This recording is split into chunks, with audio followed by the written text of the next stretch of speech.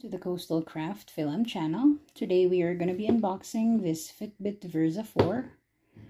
And I have opened it partially. It comes with a quick start guide. So it says here, download the Fitbit app, charge to 100%, sync the app. And that's basically it. So it comes with a charger. So, which is very different. So I have here a Fitbit Versa 2. They look very identical, but this is a little bit of an upgrade. So as you can see, the charging port is different. So this won't charge a Versa 2. So let's open this. Okay, here is the watch itself.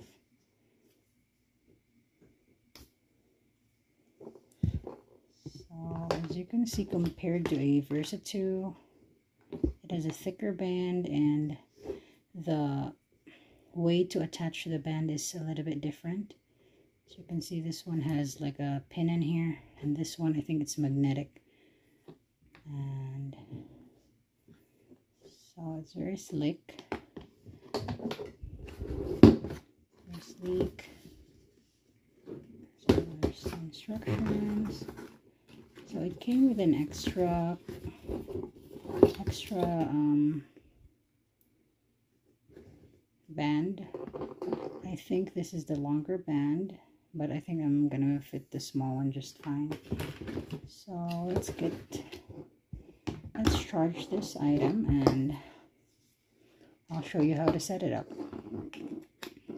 So you have to provide your own charger. Really quickly, this is my charger for the Fitbit Versa 2 you can see the back is a little bit different. It goes right into those pin. Like that. And now we're gonna I'm gonna show you how to charge the Versa 4 so this is find the right spot. There you go. It's charging. It kind of vibrates when you charge it which is nice. So your it's connected what I did is I pressed this button and it gave me this option so press the button.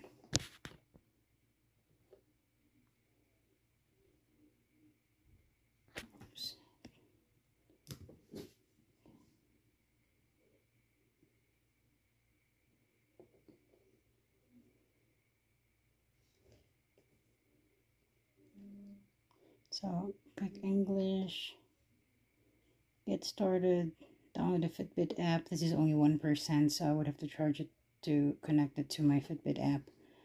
So let's get it charged, and I'll get back with you later. So to start with the setup, you have to download the Fitbit app. I already have it on my phone because I have previously a Versa 2. And make sure to turn on your location and your Bluetooth for setting up. As you can see here, I still have my Versa 2 connected. Uh, it's going to ask you what are you setting up if you add a device. So I'm going to open that page up and scroll down. And as you can see, the very bottom shows Versa 4. If you click that, it says this will disconnect your Versa 2 from your account. So you just have to um, click OK for that. And if you want um, your Versa 2 be running to, uh, to your phone as well, you need to open up a different Google account or use a different Google account to attach the Versa, the Versa 2. So it says here connect Versa 4 to the Fitbit app and it's going to have some information there. Just scroll down and click OK. It's going to give you an instruction on how to charge the Versa 4. Connect the back of your Versa 4 to the magnetic charging cable until it snaps in place.